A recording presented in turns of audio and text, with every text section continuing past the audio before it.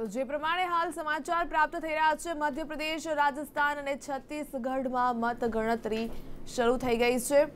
તેલંગાણા અને મિઝોરમમાં મતગણતરી શરૂ થઈ ગઈ છે. ઉલ્લેખનીય છે કે પાંચ રાજ્યો પર આજે સૌ કોઈની નજર મંડાઈ રહી છે. પાંચ રાજ્યોની વિધાનસભા ચૂંટણીના પરિણામ છે. આજ રોજ જાહેર કરવામાં આવશે. મતગણતરી શરૂ થઈ ગઈ છે. મહત્વપૂર્ણ બાબત તો એ છે કે લોકસભાની ચૂંટણીનું આ સેમી ફાઇનલ ચોક્કસપણે ગણી શકાય. રાજસ્થાનમાં પણ કહી શકાય કે કોંગ્રેસ આગળ હોય તેવું લાગી રહ્યું છે. છત્તીસગઢમાં ભાજપ દસ, કોંગ્રેસ સત્તર બેઠકો પર આગળ જોવા મળી રહ્યું છે. મધ્યપ્રદેશમાં પણ ભાજપ નવ અને કોંગ્રેસ આઠ બેઠકો પર આગળ છે. તો આજ મુદ્દે ચર્ચા કરવા માટે મારી સાથે જોડાયેલા છે બીજેપીના હેમંત ભટ્ટ, કોંગ્રેસના રશ્મિકાંત સુથાર અને રાજકીય વિશ્લેષક વજુભાઈ પરસાણા. આપ સૌનું કોઈનું સ્વાગત છે મંતવ્ય ન્યૂઝમાં. સૌથી પહેલા તો વજુભાઈ, તમને પૂછવા માંગીશ કે જે પ્રમાણે કોંગ્રેસ અત્યારે આગળ ચાલી રહી છે અને જે પરિણામો ધીરે ધીરે સામે આવી રહ્યા છે સમગ્ર કહી શકાય કે આ જે પરિણામ આવી રહ્યા છે, તેને કેવી રીતે જોઈ રહ્યા છો આપ? મોટાભાગે લોકો આખું પાંચ વર્ષ સુધી જે તે સત્તાએ કામ કર્યું હોય, એનું વિશ્લેષણ કરતા હોય. એના જે મુદ્દાઓ સોંપવામાં આવ્યો એને આપેલા વચનો છે, એ વચનો પરિપૂર્ણ થયા કે કેમ, એ બૌદ્ધિકો વિચારતા હોય છે. અને એના અનુસંધાનમાં ક્યારેક જ્યારે કામ પૂરા ન થયા હોય, ત્યારે રાજકીય રીતે એમ કહેવાય કે એને ઇનકમ્બન્ટ છે. એટલે રાજ્ય સત્તાની વિરુદ્ધમાં એનો મત જતો હોય, એવું તેવું ક્યારેક દેખાતું હોય. અને અત્યારે જે કંઈ નિર્ણયો જે લેવાઈ રહ્યા છે, એ ક્યારેક આવા જે મુદ્દાઓ એમણે આપ્યા હોય, વચનો આપ્યા હોય, એને ગુમરાહ કરવા માટે ક્યારેક આસ્થાનો, મંદિરોનો કે એવો તેવો ઉપાય અને લોકોની લાગણીને એક છેડવામાં આવે અને પછી મત એકે કરવામાં આવે, એવી તેવી પરિસ્થિતિ થાય છે. એટલે લોકો બહુ સમજદાર છે. કટોકટી આવી હતી ત્યારે કટોકટી વખતે ઇન્દિરાજી એટલા બધા જોરમાંથી પહેલાં આવ્યા હતા, પણ કટોકટી પછી ઇન્દિરાજી એટલી ભયંકર રીતે હાર્યા. કદાચ એમ લાગતું હતું કદી ઇન્દિરાજી આવશે જ નહીં. પરંતુ જે સત્તાઓ આવી, એમણે સત્તા ઈચ્છાઓ મુજબ પૂર્ણ ન થઈ, ત્યારે ઇન્દિરાજીને ફરી પાછા વાતે ગાતે લાવવામાં આવ્યા અને લોકો જ લાવ્યા. એવી જ પરિસ્થિતિ સામે અત્યારે મને થોડી દેખાય છે. જી. એટલે ચોક્કસપણે કહી શકાય કે જે બીજેપીએ વાયદા કર્યા હતા ક્યાંક ને ક્યાંક પૂરા નથી કર્યા અને હવે કોંગ્રેસને ક્યાંક ચાન્સ આપવા માંગે છે જનતા. નથી કર્યા કરતા એને દેખાય લોકોને કે ભાઈ આ આ કામો એ પૂર્ણ પૂર્ણ થઈ શક્યા નથી. આપણે આવી ઈચ્છાઓ હતી એ પૂર્ણ થઈ શકી ત્રણસો સિત્તેરની કલમ તો કે હટાવી શક્યા નથી આવું કંઈ કરી શક્યા નથી. અને એવા અનેક અનેક પરંતુ જે જે રીતે બંધારણનું એ કે બીજી રીતે અધપતિત થયેલું છે રાજકીય રીતે. અને જે. સ્વાયત્ત સંસ્થાઓ છે એ સ્વાયત્ત સંસ્થાઓ ઉપર જે મારો ચાલે છે એ લોકો હવે સમજવા મળ્યા છે કે આ સ્વાયત્ત સંસ્થાઓ ધીમે ધીમે ધીમે ધીમે ખવાય છે. એમાં ઉધઈ લાગી રહી છે. એવું દેખાય છે. એટલે લોકો બૌદ્ધિક લોકો વિમુખ થાય પણ ગરીબોને એવી કોઈ અસર થતી નથી. ગરીબો છે ત્યાં ને ત્યાં રહેવાના અને ચોક્કસ મતો ચોક્કસ રીતે લોકોને મતો આપવાના. કારણ કે બંને પક્ષની સંપત્તિ જો મોટામાં મોટી સંપત્તિ હોય તો ગરીબી એ એની સંપત્તિ છે.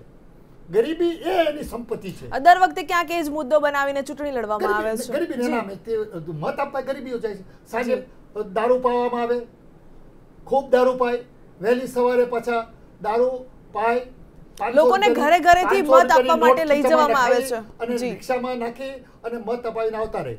પાયાનો જે ઝૂંપડીમાં રહેતો માણસ બૌદ્ધિક ન હોય એ માણસના મતની કિંમત અને રાષ્ટ્રપતિના મતની કિંમત એક સરખી છે. માટે બંને પક્ષને ગરીબો સાચવવાની એક હોડ જામી છે. અને ગરીબો જ મતો ચૂંટણી જીતાવી શકે અને રૂપિયાથી જ મત જીતાય છે એ ચોક્કસ થઈ ગયું છે. એટલે જે રૂપિયાવાળો વધારે જીતી શકે તેવો ઉમેદવાર મોટો અને જીતી શકે ઉમેદવારને ટિકિટ આપવામાં આવે છે. લોકસેવકને કદી ટિકિટ મળતી નથી આપવામાં પણ આવતી નથી. જીતે એવો બંને પાર્ટીમાં આ હોડ છે. જીતે એવો ઉમેદવાર લાવો અને આપણા લોકો વધારે જીતી જશે એ એક પરિસ્થિતિ ચોક્કસ છે. જી ચોક્કસથી કોંગ્રેસના નેતા રશ્મિકાંત સુથાર પણ આપણી સાથે જોડાયેલા છે. આપણે એમને જ પૂછીશું જે પ્રમાણે પરિણામ ધીરે ધીરે ક્યાંક આવી રહ્યા છે અને કોંગ્રેસ આગળ ચાલી રહ્યું છે. શું કહેવું છે આપનું? આ જે ચૂંટણી પરિણામો છે એ ચોક્કસપણે પ્રજાની પસંદ અને નાપસંદગીના મતોનું છે.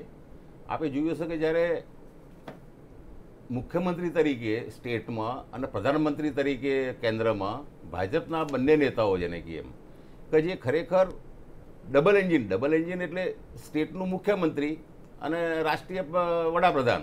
આ બે એન્જિન જો સરખા ચાલે તો પ્રજાના જે પ્રશ્નો છે રોજબરોજના જેને કહીએ એમ કે આપણે જોયું છે કે સમાજ સેવક અને સન્મુખતા સાહેબ એટલો જ ફરક છે. પ્રજા પહેલાં એને સમાજસેવક સમજી બેઠા ભાજપના નેતાઓને, મુખ્યમંત્રીને અને પ્રધાનમંત્રીને. પણ છેલ્લે લોકોએ સરમુખત્યારશાહી કરી. જે લોકોના જીવનમાં અગત્યના જે આરોગ્યના છે રોજગારીના છે શિક્ષણના છે અને મહિલાઓ માટે જેને કે કમરતોડ ભાવ વધારો, એમને ઘર કેમનું ચલાવવું? આ પ્રશ્નોને એકદમ નજરઅંદાજ કરી અને એમને એમની જે ગમતું હતું, એમની જે શીખેલા હતા જે પાઠશાળામાં એ પાઠશાળાનો એમણે એ પ્રમાણે વહીવટ કર્યો. જેને કે એમ કે સેલ્સમેનને તમે મેન્યુફેક્ચરિંગમાં કે પ્રોડક્શનમાં લગાવો તો એ પ્રોડક્શન ના કરી શકે. અથવા તો બધી ખરાબી કરી નાખે જેમ કે નોટબંધીમાં અને જીએસટીમાં કર્યું. સેલ્સમેન સેલ્સમેન જ હોય છે એ સારામાં સારું માર્કેટિંગ કરી શકે પણ એ પ્રોડક્શન મેન બની ના શકે. એટલે ભાજપે જેને કહે ને કે પ્રજાના ભોગે એમનું જે ધાર્યું કર્યું એના પરિણામો હવે આ મતપત્રકમાં જેને કહીએ કે આપણે ઈવીએમમાં આવા દેખાવાનું ચાલુ થશે. લોકો સમજી ગયા. બીજેપીના નેતા પણ હેમંત ભટ્ટ આપણી સાથે જોડાયેલા છે. જે પ્રમાણે રશ્મિકાંતભાઈનું કહેવું છે કે ક્યાંક સરમુખત્યારશાહી બીજેપી અપનાવી રહ્યું છે. ક્યાંક ને ક્યાંક ફક્ત વોટ બેંકની નીતિ કરવામાં આવી. આપનું શું કહેવું છે? ભાવિકાબેન જે પ્રમાણેના લીડિંગ રિઝલ્ટ્સ અત્યારે જોવા મળી રહે છે તે પ્રમાણે મધ્યપ્રદેશ અને છત્તીસગઢમાં ભારતીય જનતા પાર્ટી ખૂબ સારું પરફોર્મન્સ કરી રહી છે. રાજસ્થાનમાં ઓબ્વિયસલી કોંગ્રેસ ભારતીય જનતા પાર્ટી કરતાં લીડિંગ પોઝિશન્સમાં અત્યારે આગળ દેખાઈ રહી છે. પરંતુ મારું એવું સ્પષ્ટપણે માનવું છે કે ભારતીય જનતા પાર્ટીએ છેલ્લા પંદર વર્ષમાં મધ્યપ્રદેશ છત્તીસગઢ અને છેલ્લા પાંચ વર્ષમાં રાજસ્થાનમાં વિકાસના અનેક કાર્યો ધરાતલ ઉપર જમીન ઉપર કર્યા છે. એ કાર્યો ખરેખર જનતા સુધી પહોંચ્યા છે. દાખલા તરીકે હું રાજસ્થાનની જ વાત કરું તો આ એ રાજસ્થાન છે કે જેમાં આજથી પાંચ વર્ષ પહેલાં સાત મેડિકલ કોલેજો હતી. આજે પાંચ વર્ષમાં બીજી સાત મેડિકલ કોલેજો ભારતીય જનતા પાર્ટીના શાસનમાં ઉમેરી આ એ રાજસ્થાન છે કે જ્યાં પહેલાં એક હજાર આઈટીઆઈ હતી. છેલ્લા પાંચ વર્ષના શાસનમાં વસુંધરાજીએ બીજી એક હજાર આઈટીઆઈ સંસ્થાઓ ઊભી કરી. આ એ રાજસ્થાન છે કે જેમાં પહેલાં સાહીઠ હજાર કિલોમીટરના જ રસ્તા બે હજાર તેર સુધી હજાર બે હજાર અઢારમાં આજે એક લાખ નેવું હજાર કિલોમીટરના રસ્તા રાજસ્થાનમાં વસુંધરા રાજે અને ભારતીય જનતા પાર્ટીની સરકારે બનાવ્યા છે. પચાસ લાખ જેટલા યુવાનો જે રાજસ્થાનના છે, તેને મુદ્રા યોજના દ્વારા લોન આપણે પૂરી પાડી શક્યા છીએ. અઢી લાખ જેટલા રાજસ્થાનના યુવકોને સરકારી નોકરી મળી છે. ત્રણ લાખ જેટલા યુવકોને પ્રધાનમંત્રી કૌશલ્ય વિકાસ યોજના દ્વારા આપણે ઓલ્ટરનેટ એમ્પ્લોયમેન્ટ માટેની એક આખી રોજગારીની તકો ઊભી કરવા માટે સક્ષમ બનાવી શક્યા છે જી ચોક્કસ. વસુંધરા રાજ્યના જી વિકાસના કાર્યો ગણાવી રહ્યા છો પરંતુ ક્યાંક રાજસ્થાનમાં એવું પણ ક્યાંક સ્લોગન ઉઠવા પામ્યું હતું કે વસુંધરા તુમારી ખેર નહીં મોદી તુમસે બેર નહીં. એટલે ક્યાંક ને ક્યાંક એવું લાગી રહ્યું છે કે બીજેપીને ક્યાંક નથી કરવામાં આવી રહ્યું ટાર્ગેટ પણ વસુંધરા રાજે છે તેમને ક્યાંક હટાવવા માટે ક્યાંક આ પરિણામો આવી શકે છે. શું કહેવું છે? ભાવિકાબેન જ્યારે પણ ચૂંટણી લડાતી હોય ને ત્યારે ઘણી વખત અમુક સ્લોગન્સ કે અમુક પંચલાઈન એ સ્વીકાર્ય રીતે મીડિયામાં મીડિયામાં મીડિયામાં સ્વીકાર્ય બનતી હોય છે. અને આવી પંચલાઈનો દ્વારા ઇલેક્શન જીતવા માટેના કિમિયા થતા હોય આ બધી આ બધી રશ્મિભાઈ તમે બોલ્યા. ત્યારે હું જરાય નથી બોલ્યો. પણ આપણે એ સજ્જનતાને. શાલીનતા સજ્જનતાને શાલીન તમે બોલો. સ્લોગનો તમે મૂકો એટલે રશ્મિકાંતભાઈ શું લાગી રહ્યું છે કે આ વખતે વસુંધરા રાજેના જે વિકાસના કાર્યો જે મેં પણ હેમંત ભટ્ટે ગણાવ્યા. જ્યારે હું બોલતો હોઉં ત્યારે રશ્મિભાઈ વચ્ચે બોલશે તો આ પ્રમાણે આપણે ચર્ચા નહીં કરી શકીએ. આપણે આપણે શાલીનતા. શાલીનતા રાખીશું. આપણે જો દર્શક મિત્રો સુધી અને શ્રોતા મિત્રો સુધી જી રશ્મિકાંતભાઈ તમારી પાસે આવીશ. હેમંતભાઈ આપ જણાવશો. જી આપ જણાવશો. હું એ કહેતો હતો કે રાજસ્થાનમાં ધરાતલ પરના ભારતીય જનતા પાર્ટીએ કાર્ય કર્યા છે. આ જ પરિસ્થિતિ મધ્યપ્રદેશની છે. મેં હમણાં જ જ્યારે વાત થતી હતી રાજસ્થાનમાં ક્યાંક એવું પણ કહેવામાં આવી રહ્યું હતું કે વસુંધરા રાજે છે તેમને સાત વાગ્યા પછી કંઈક ફોન નથી કરી શકાતો કે પછી તેમની સાથે વાત નથી કરી શકાતી. આ શું સાચું છે? શું કેટલું તથ્ય રહેલું છે આમાં? ભાવિકાબેન જ્યારે ઇલેક્શન આવતા હોય છે ત્યારે સામેના પ્રતિપક્ષમાં કઈ બાબતોને કારણે પારાવાર નુકસાન થઈ શકે અથવા તો અમુક બાબતો કોઈ પક્ષને બેનિફિશિયલ થઈ શકે એ માટે અમુક વાતો ઉપજાવી કાઢવામાં આવતી હોય છે. આવી જ. બાબતો છે. નહીં તો આજે વસુંધરાજી ઝાલાર પટ્ટનમાં જે જસવંતસિંહના પુત્ર માનવેન્દ્રસિંહને પક્ષ ફેર કરાવીને કોંગ્રેસે ઊભા રાખ્યા હતા તેની સામે વસુંધરાજી આજે જો લીડ કરી રહ્યા હોય તો તે બતાડે છે કે જનતાનું સમર્થન વસુંધરાજી સાથે છે જ. એટલે રાજસ્થાનમાં જે કોઈ વસુંધરાજી માટેની જે વાતો હતી તેમાં કેટલું તથ્ય રહ્યું છે એ તો આપણી જમીન પરની હકીકતે સાબિત કરી દઈ છે. એટલે એ બાબતમાં ક્યાંય તથ્ય નથી. જેવી જ રીત જે રીતે રાજસ્થાનમાં કાર્યો થયા છે હું તમને કહું કે પાંચ જ વર્ષમાં રાજસ્થાનની પ્રતિ વ્યક્તિ આવક એકસઠ હજારથી વધીને જો છોતેર હજાર થતી હોય તો પંદર હજાર રૂપિયા સુધીની વાર્ષિક આવકમાં વધારો જ્યારે કોઈ રાજ્યની સરકાર લોકોને માટે કાર્ય કરતી હોય તો થાય. જે રાજ્યનું બજેટ માત્ર ચોરાણું હજાર કરોડ રૂપિયા બે હજાર ત્રણમાં હોય અને તે વધીને બે હજાર અઢારમાં બે લાખ બાર હજાર કરોડ રૂપિયા સુધી પહોંચતું હોય તો એ ખરેખર ત્યાંની સરકારે વિકાસના કાર્યો માટે મન લગાવીને કાર્ય કર્યું હોય તો જ થાય. આજે રાજસ્વની જે આવક છે એ બાવન હજાર કરોડ રૂપિયાથી વધીને એક પોઈન્ટ ત્રણ લાખ કરોડ રૂપિયા સુધી પહોંચે. જ્યાં અગિયાર ફૂટ જેટલા જળસ્તર રાજસ્થાનમાં ઉપર આવે ત્યારે ત્યાંની સરકારે લોકોને માટે કાર્ય કર્યા હોય તો જ આ શક્ય બને. હમણાં જ મારે એક રાજસ્થાનના મિત્ર જોડે વાત થતી હતી કે. પહેલાં ખેરવાડાથી ડુંગરપુરનો જે રસ્તો હતો તે એવો રસ્તો હતો કે તમે અઢી કલાક સુધી તમે એ રોડ ઉપર હો તે તો પણ તમારા ગંતવ્ય સ્થાને ન પહોંચી શકો. આજે કોન્ક્રીટના રોડ બન્યા પછી માત્ર સવા કલાકમાં ખેરવાડાથી ડુંગરપુર સુધી તમે જઈ શકો છો. આ પ્રમાણેની જ્યારે હાલતો અંતરિયાળ રસ્તાઓમાં પણ રાજસ્થાનમાં જે પ્રમાણે માર્ક ઇમ્પ્રુવમેન્ટ આવ્યું છે તે ભારતીય જનતા પાર્ટીએ કરેલા કાર્યો છે. અને માત્ર આ ઇન્ફ્રાસ્ટ્રક્ચરની સુવિધા ને જયપુરમાં જે ટેકનો હબ બનાવ્યું છે, કે જેમાં એક સાથે સાતસો જેટલી સ્ટાર્ટઅપ યોજનાઓ આજનું જે યંગર જનરેશન છે, એ ત્યાં ફોલો કરી શકે. આજે સો જેટલા રાજસ્થાનના છોકરાઓ વિકાસના કાર્યો ઘડાવવામાં તો પહેલા નંબરે છે જ. રશ્મિકાંતભાઈને પૂછવા માંગી રશ્મિકાંતભાઈ શું કહેવું છે આપનું? ખરેખર જેટલા વિકાસના કાર્યો ગણાવવામાં આવ્યા છે જેટલી વાતો કરવામાં આવે છે ખરેખર જમીન પરની હકીકત તમારા મોડે સાંભળવા માંગીશ. ભાજપના મિત્રે હમણાં જે કહ્યું કે વ્યક્તિ દીઠ આવક વધી છે. હવે લગભગ સાત કરોડ છ છ કરોડ નેવ્યાસી લાખની વસ્તી છે રાજસ્થાનની. એમાં ધારો કે પાંચસો કે હજાર વ્યક્તિઓ એક લાખ કમાતા હોય કે સો કરોડ કમાવાનું ચાલુ કરી દે અને એને ધારે કે બધાની સામે એને કરવામાં, સરખાવવામાં આવે, તો સ્વાભાવિક છે કે આવક વધારો થાય. પણ જે સામાન્ય માણસ છે, જો રાજસ્થાનમાં ભાજપે અને કેન્દ્ર સરકારે જો કંઈ બી કામો કર્યા હોત, મહિલાઓ માટે, યુવાનો માટે, તો આટલા બધા સમૂહે જે આંદોલનો કર્યા છે, તમે જોયું હશે કે છેલ્લા પાંચ વર્ષમાં સરકારી આંકડા પ્રમાણે બી મહિલાઓ પર અત્યાચાર સૌથી વધારે રાજસ્થાનમાં થયા છે. યુવાનોને બેરોજગારી એટલી બધી વધી ગઈ છે એના બી આંકડાઓ ત્યાં બી ત્રીજો ચોથો નંબર છે રાજસ્થાનનો. તો તમે જે કર્યું છે એ તમે ચોક્કસ વાતો કરી શકો છો. પણ વ્યવહારિક ત્યાં જમીન ઉપર કંઈ છે નહીં નહીતર આટલા બધા આંદોલનો ના થયા અને એક્ઝિટ પોલ ને અન્ય લોકો તમારા ભાજપના મિત્રો બી કહે છે કે રાજસ્થાનમાં આખત સારું નથી. સ્પષ્ટ બોલતા નથી પણ સારું નથી એનું કારણ જ આ છે કે તમે જેને કે ડબલ એન્જિનની વાતો કરી છે પણ ડબલ એન્જિનમાં ઘાસલેટ નાખીને તમે એન્જિન ચલાવવાનો પ્રયત્ન કર્યો એટલે એની જે ગતિ હતી અર્થતંત્રની આખી ઘાસલેટી એવું જેને કે વાહન ચાલતું હોય તો ધુમાડો કાઢે અવાજ કરે. તમે ખાલી આ દેશમાં મીડિયામાં અવાજ કર્યો છે અને પરિસ્થિતિ જેને કહીએ કે કેરોસીનના ધુમાડાથી જેને કે લોકોના જે જનજીવન ઉપર છે ઘણી બધી અસર કરી છે. એટલે તમે વિકાસ કર્યો જ નથી.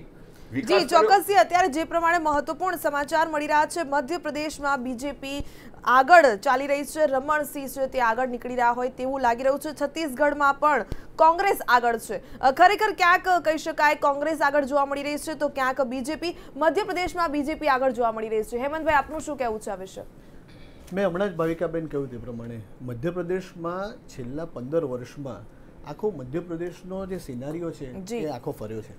હું વાત કરતો હતો કે મધ્યપ્રદેશમાં પહેલાં એવી પરિસ્થિતિ હતી કે તમે ગુજરાતની દાહોદની બોર્ડર છોડો અને જાબુઆ ઘાટ તમારી બસ પ્રવેશે કે તમારી કાર પ્રવેશે એટલે ખબર પડે કે તમે મધ્યપ્રદેશમાં આવ્યા. કોંગ્રેસના વિકાસના નામે ત્રણ ટર્મથી મધ્યપ્રદેશમાં બીજેપી આગળ આવી રહ્યું છે. આ વખતે શું લાગી રહ્યું છે? એ જ વિકાસના જે કાર્યો કર્યા છે એ ધરાતલ પરના મધ્યપ્રદેશની જનતાએ જોયા છે. એ જ મધ્યપ્રદેશ છે કે જ્યાં agricultural growth rate. Twenty percent કરતાં વધારે સમગ્ર દેશમાં સૌથી વધારે કૃષિ વિકાસ દર રહ્યો હોય તો તે મધ્યપ્રદેશનો રહ્યો છે. આ એ મધ્યપ્રદેશમાં જેમાં અંતરિયાળ રસ્તાઓ ભારતીય જનતા પાર્ટીના શાસનમાં જે બન્યા છે પહેલાં ઉજ્જૈનથી ઓમકારેશ્વર જવું હોય ને તો અઢી અઢી ત્રણ ત્રણ કલાક થતા હતા આજે સવા કલાકમાં ફોર લેન હાઈવે સાથે તમે ઉજ્જૈનથી ઓમકારેશ્વર સવા કલાકમાં પહોંચી શકો છો. આ તો મેં તમને એક દાખલો આપ્યો. પણ આ દાહોદથી હવે ઇન્દોર પહોંચવું હોય કે ઉજ્જૈન પહોંચવું હોય તો આપણા ગુજરાતી મિત્રોને પૂછજો કે પહેલાં શું હાલત હતી. આ એ મધ્યપ્રદેશ છે જેમાં બે હજાર ત્રણમાં માત્ર પાંચ મેડિકલ કોલેજ હતી. આજે છત્રીસ મેડિકલ કોલેજો મધ્યપ્રદેશમાં છે. પહેલાં ચારસો ને ઓગણ ઓગણપચાસ જેટલી એન્જિનિયરિંગ કોલેજો અને આઈઆઈટી જેટલી સંસ્થાઓ હતી. આજે અઢી હજાર કરતાં વધારે તમારી એન્જિનિયરિંગ કોલેજો અને આઈઆઈટી આઈટીઆઈ જેવી સંસ્થાઓ છે. પાંચસો ટકાનો વધારો મુખ્ય જે નિજી વિશ્વવિદ્યાલયો હતા જેને ડીમ્ડ યુનિવર્સિટી અને યુનિવર્સિટી કહીએ એ પહેલાં ત્રણસો ને દસ બે હજાર ત્રણમાં એ વધીને પાંચસો ને ત્રેતાલીસ થાય. આ વિકાસના કાર્યો ભારતીય જનતા પાર્ટીની સરકારે કર્યા છે. ઇરિગેશનમાં જે સાડા સાત લાખ હેક્ટરની જમીન જે બે હજાર ત્રણમાં હતી એ વધીને બે હજાર અઢારમાં ચાલીસ લાખ હેક્ટર સુધી પહોંચે. તો વજુભાઈ તમને પૂછવા માંગીશ કે પંદર વર્ષ પછી એન્ટી ઇન્કમન્સી સત્તા વિરોધી જોવાની શક્યતા લાગી રહી છે મધ્યપ્રદેશમાં? અત્યારે આજે અત્યારે આંકડા રુઝાન આવી રહ્યા છે જી. એમાં ચોક્કસ લાગે છે. એક જમાનો એક સમય એવો હતો કે ચોક્કસ ગઢ ગણાતા હતા. જી. ચોક્કસ વિચારોથી લોકો જોડાઈ ગયા હતા. ક્યારેક ધાર્મિક વિચારોને કારણે ક્યારેક વિકાસના નામે કે એક કે બીજી રીતે સત્તા સાથે જોડાયેલા હતા. પણ અત્યારે જે આંકડાઓ આવી રહ્યા છે એ મુજબ લોકો વિમુખ થઈ રહ્યા હોય એવું ચોક્કસ દેખાઈ આવે છે. જી. બધા જે જુદા જુદા રાજ્યના આંકડાઓ આપણે અત્યારે જોઈ રહ્યા છે જી. એમાં વિમુખતાનું કારણ મને આ જ લાગે છે કે લોકો ભ્રમમાંથી એક યા બીજી રીતે બહાર આવી રહ્યા હશે બીજું કે કોંગ્રેસે જેમ ભાજપે ધર્મનો રસ્તો અપનાવ્યો જી. એવા જ રસ્તે કોંગ્રેસને પણ જવું પડ્યું. ભાજપને રસ્તે કોંગ્રેસને જવું પડ્યું. લોકોને મનાવવા પડ્યા કે અમે પણ હિન્દુવાદી છીએ. એકલા અને તુષ્ટિકરણવાદી નથી. તુષ્ટિકરણ એટલું બધું થયું વિમુખ થવાનું કારણ પણ એ હતું કે કોંગ્રેસે એટલું બધું તુષ્ટિકરણ કર્યું ચોક્કસ લોકોનું એટલું બધું તુષ્ટિકરણ કર્યું કે ચોક્કસ મોટો જે વર્ગ હતો એનાથી વિમુખ થયો. પછી એને એ જ રસ્તે ચાલવું પડ્યું. એની અસર પણ થોડી આ આ ચૂંટણીમાં દેખાશે. બીજું જે રીતે ભાજપ દ્વારા સ્વાયત્ત સંસ્થાઓને કવર કરવા પ્રયત્ન કર્યો. આરબીઆઈ છે ન્યાયતંત્ર છે યુપીએસસી છે જીપીએસસી છે આવા આવા જે નાના નાના જે બિલકુલ ટેગ છે આમાં જે એક યા બીજી રીતે જે માથું માર્યું જેને સ્વતંત્ર રહેવા દેવું. ચૂંટણી પંચ તો સો ટકા સ્વતંત્ર રહેવું જોઈએ. પણ એક યા બીજી રીતે સત્તાના પ્રભાવમાં કોઈ આ બધી સત્તાઓ આવે ત્યારે બંધારણ ઉપર બહુ મોટો હુમલો છે. જી જી ચોક્કસ ઇન્દિરાજીએ મોટો હુમલો કર્યો હતો જી. ઇન્દિરા ગાંધીએ જેમ મોટામાં મોટો હુમલો કર્યો હતો અને બંધારણને તોડી મચોડી નાખ્યું હતું. જી. અત્યારે જે પ્રમાણે રુઝાન આવી રહ્યા છે રાજસ્થાનમાં કોંગ્રેસ આગળ નીકળી રહી છે અને પાસઠ સીટોથી આગળ ચાલી રહી છે. શું કહેવું છે રશ્મિકાંતભાઈ? જે પ્રમાણે હેમંતભાઈ રાજસ્થાનમાં વિકાસની વાતો કરી રહ્યા હતા. વિકાસના નામે કહી શકાય કે ફરી એકવાર બીજેપી આવશે વસુંધરા રાજે આવશે પરંતુ ક્યાંક અલગ જોવા મળી રહ્યો છે. શું કહેવું છે આપનું? એવરેજ આપને વાત કરું જી. તો આજે જ્યાં પણ મતગણતરી થવાની છે તમામ રાજ્યોમાં પાંચે પાંચ એમાં મુખ્ય ત્રણ રાજ્યો છે. રાજસ્થાન મધ્યપ્રદેશ અને છત્તીસગઢ. છત્તીસગઢ. આ ત્રણમાં લોકોની જે અપેક્ષા હતી જેને કે સરકાર સરકાર એટલે એક મા બાપ કહેવાય જેને કે એમ. જેમ મા બાપ બાળકોનું ધ્યાન રાખે એમની સુરક્ષાનું એમના વિકાસનું એને ફેસિલિટી આપવાની છે. સરકાર કામ નથી કરતી કામ તો પ્રજા જ કરે છે. તમે શિક્ષણમાં શિક્ષકો જ કરે છે અને છોકરાઓ ભણે છે. ફેક્ટરીમાં કારીગરો કામ કરે છે અને મેનેજર મેનેજમેન્ટ કરતો હોય છે. પણ એમને જે ફેસિલિટી આપવી જોઈએ, એ ફેસિલિટી જેને કહે કે જેને સામાન્ય સમાજનો કે માણસોનો એમની જરૂરિયાતનો મગજમાં જેને કે એમના પ્રત્યેનો કોઈ એ ના હોય, આખી જેને કે ઉદાસીનતા દાખવી, વહીવટી અક્ષમતા જેને કહીએ બીજા શબ્દોમાં કહું તો ડબલ્યુ ડબલ્યુ એફનો જે ખેલાડી હોય, એને તમે જે ક્રિકેટમાં કે ચેસમાં બેસાડો, તો ના ચાલે. કે એ દરેક વિષયમાં ફેલ જવાનો છે. એના બોલિંગ કરી શકે, ના બેટિંગ કરી શકે, ના ફિલ્ડિંગ કરી શકે. એટલે આ જે ભાજપનો જે એમનો બેઝ જે છે, અનુભવ જે છે, એ જેને કે આંદોલન સિવાય વહીવટી છે જ નહીં. એમને પ્રજાને ફંડ ચોક્કસપણે કાગળ પર દેખાય છે બજેટમાં એ દેખાય છે કે આટલું વાપર્યું, આટલું આપ્યું એમ. પણ એ આપ્યું તો ગયું ક્યાં? આ નીરવ મોદી અને મેહુલ ચોકસી જેવા જ લઈ ગયા છે બધા. સામાન્ય માણસને જેને કે ગામડાનો હોય કે શહેરનો હોય, શહેર કહેવાય છે શહેર. પણ શહેરનો માણસ જેને કે મધ્યમ અને ગરીબ વર્ગ સુખી છે નહીં. શિક્ષણમાં એટલો બધો ખર્ચો કરવો પડે છે. આરોગ્યની સેવાઓ નથી જ્યાં હોસ્પિટલ નથી હોસ્પિટલ છે તો ડૉક્ટર નથી. એટલે આ ગુજરાતમાં પણ આવું જ છે. એટલે અહીં જેને કે કે પ્રજાએ જાકોર એટલા માટે આપ્યો કે એમણે સહન ઘણું કર્યું. જી. સહન શક્તિની જેને કે મર્યાદા વટાવી ગઈ. ના શિક્ષણમાં ના આરોગ્યમાં તમે ના ભાવ કાબુ કરી શકો. મહિલાઓને જેને કે એમનું જે રેસનિંગ એમનું જે રસોડું ચલાવવું છે અને અન્ય ખર્ચા પેટ્રોલ ડીઝલના. તમે સત્તા પર આવતા પહેલાં તમે એટલા બધા વચનો આપ્યા કે તમે પાડી શકવાના નતા જી રશ્મિકાંતભાઈ એ પણ જણાવી દઉં છત્તીસગઢમાં કોંગ્રેસ છે તે ખૂબ આગળ નીકળી રહ્યું છે. હાફ સેન્ચુરી મારી દીધી છે એમ કહે તો પણ ચાલે. શું કહેશો? ચોક્કસપણે આ જે પ્રતિબિંબ છે ને બેન એ હવે પ્રજાનું જેને કે અથવા બીજા શબ્દોમાં કહીએ જ્યારે આપણે ફાઇનલ પરીક્ષા આપતા હોઈએ ને. બોર્ડની ત્યારે એના પહેલાં એક પ્રિલિમ પરીક્ષા હોય છે. એટલે આ જે આજે જે રિઝલ્ટ આવી રહ્યા છે એ પ્રિલિમ પરીક્ષાના છે. જ્યારે બી કોઈ વિદ્યાર્થીને આપણે બોર્ડની પરીક્ષા આપીને આવતા આપણે પૂછીએ કેટલા ટકા આવશે કે અમારે પ્રિલિમમાં એંસી ટકા આવ્યા હતા એટલે આપણે ચોક્કસપણે કહીએ કે એની એસી ની આજુબાજુ તો એને આવવાના જ છે. એટલે આખા દેશભરમાં જેને કે આનું પ્રતિબિંબ પડવાનું છે બેન. આ જે પરિણામો છે એ. એક પ્રિલિમ પરીક્ષા જેવા છે કે આ જે પણ રિઝલ્ટ આવશે એ પ્રજાનું જે માનસ જે છે કે કે વહીવટી અક્ષમતા લોકો સત્તા પર બેસી ગયેલા ડબલ એન્જિનના નામે ડબલ એન્જિન ચોક્કસ છે. મુખ્યમંત્રી અને પ્રધાનમંત્રી દેશને આગળ લઈ જતા હોય છે. જે તે પ્રદેશને આગળ લઈ જતા હોય છે.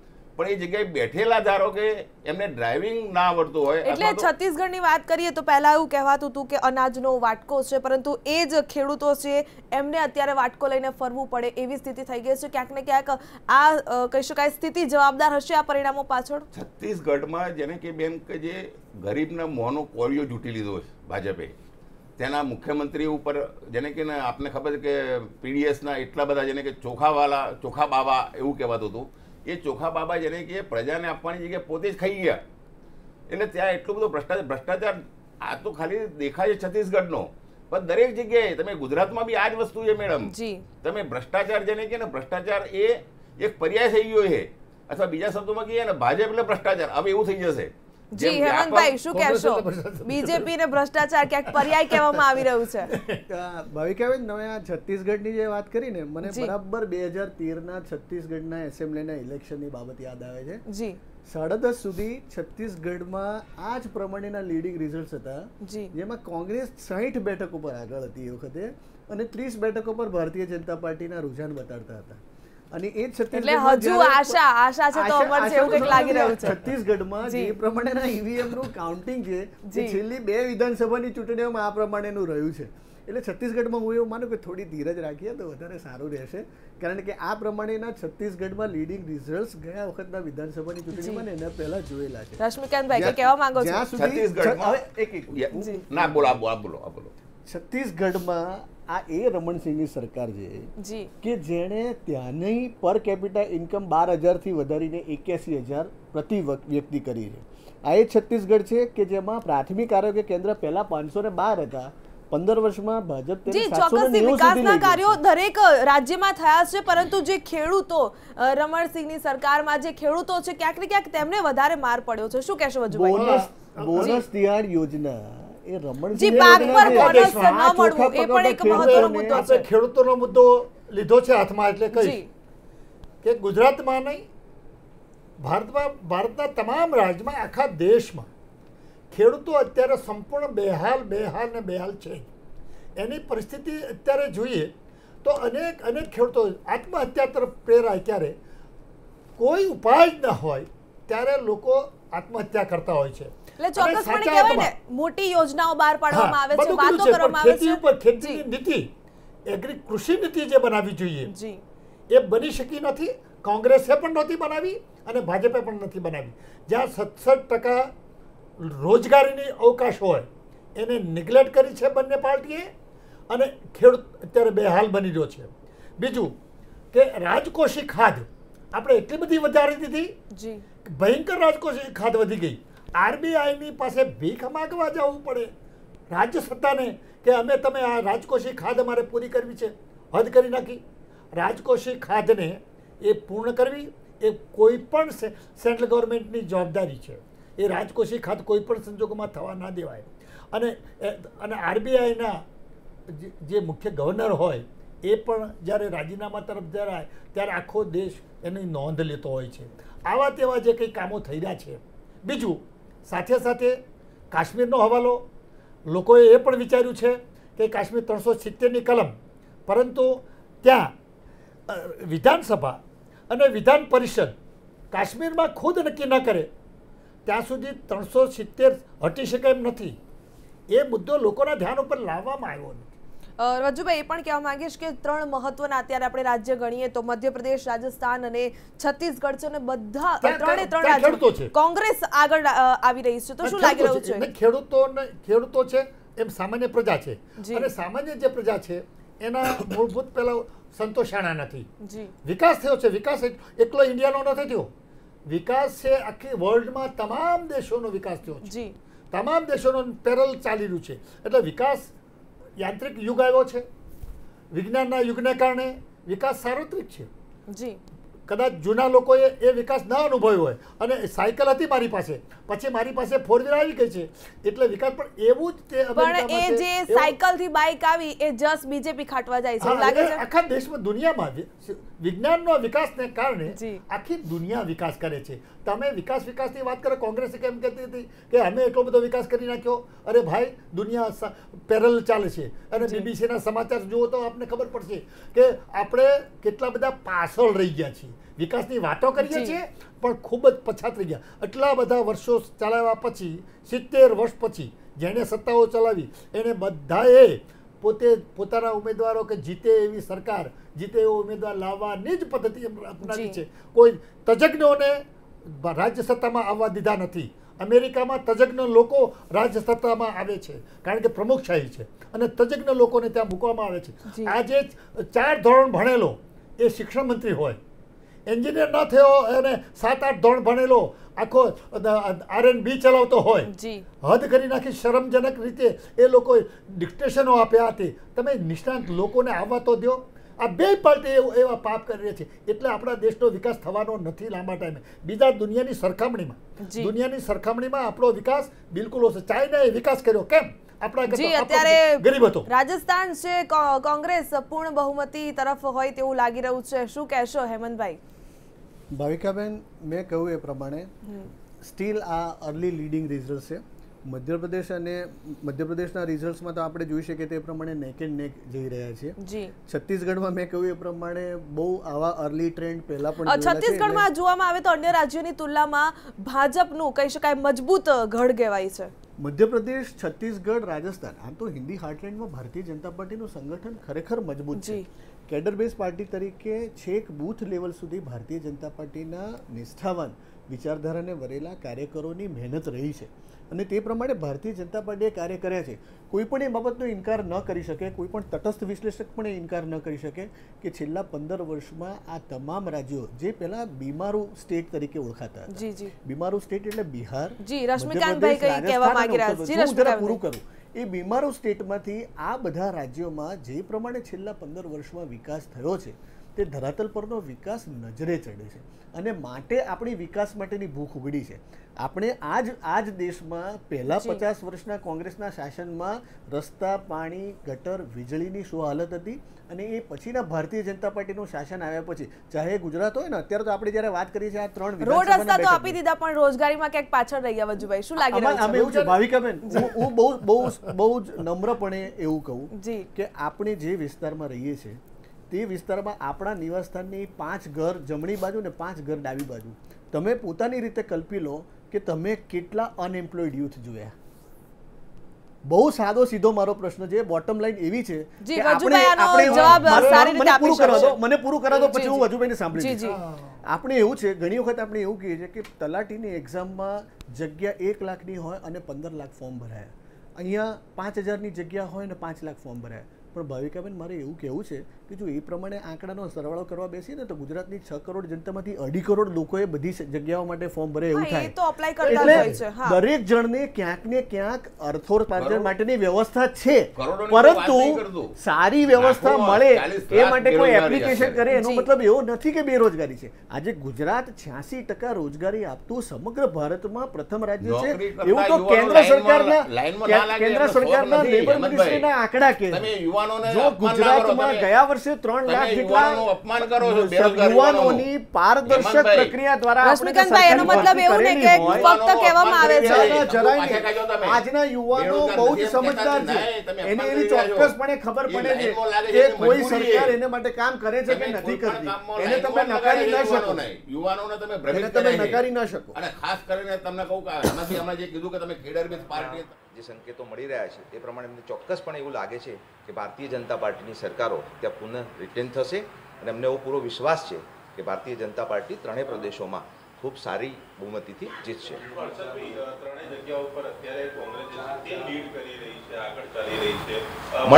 મત. મતગણતરીની પ્રક્રિયા હજુ ચાલુ છે. એટલે બાર વાગ્યા સુધીમાં આ તમામ પ્રક્રિયા જે છે એના ઉપરથી ચોક્કસ આપણને સંકેતો મળી રહેશે. ખાસ કરીને ભારતીય જનતા પાર્ટીની જે રાજ્ય સરકારોએ કરેલી કામગીરી જે છે અને અમારી જે પ્રજાલક્ષી જે યોજનાઓ છે એને આધારિત આ મતદાનનો જે વિષય છે અને રાજ્ય સરકારની કામગીરીને આધારિત આ ત્રણેય રાજ્યોના પરિણામો જે છે એનો સંકેત અને સૂચિતાર્થો આપણને મળી રહેશે.